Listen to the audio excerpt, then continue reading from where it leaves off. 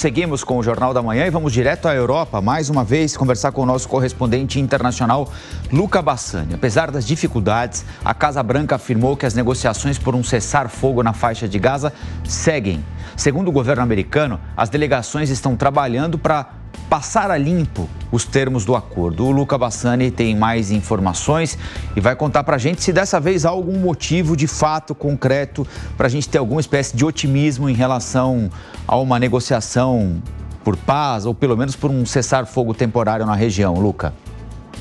Olha, Rafael, aquilo que a gente vê é que essa nova rodada de negociação ela tem seguido um caminho muito parecido das demais que aconteceram durante os últimos meses. Durante o final de semana tivemos um aumento das hostilidades entre Israel e Hezbollah e muitos acreditavam que isso poderia ter um efeito direto nas negociações entre Hamas e Israel, mas de acordo com os americanos isso não aconteceu e o objetivo agora é passar a limpo. Em várias conversas que acontecem na cidade do Cairo, no Egito, eles querem é, rever e reescrever os termos que não ficaram muito claros. Afinal, inicialmente, Israel tinha se comprometido a não controlar mais o meio da faixa de Gaza, né, aquela, aquela estrada criada por eles durante a guerra, e também não co controlaria o famoso corredor Filadélfia, assim chamado a região fronteiriça entre Gaza e Egito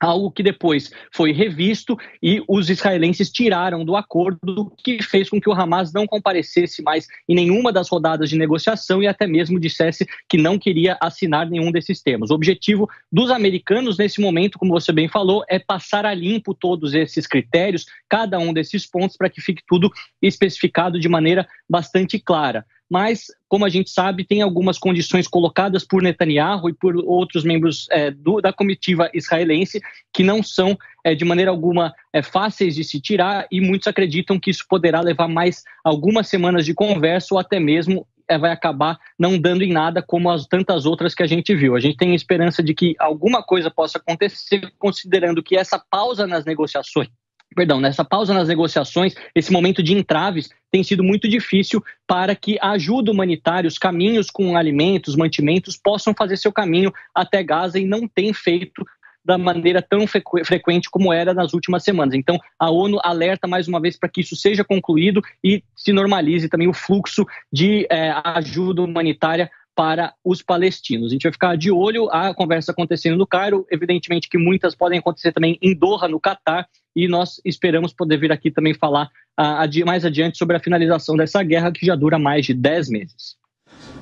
Todos esperamos. Luca Bassani, ao vivo, direto da Rússia.